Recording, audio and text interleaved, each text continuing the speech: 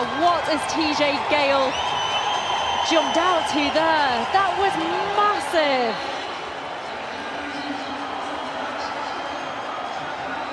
Here's the reaction of the reigning world record holder.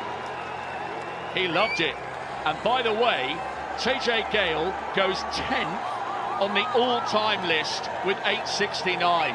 He's into the top 10 best jumps ever seen anywhere in the world.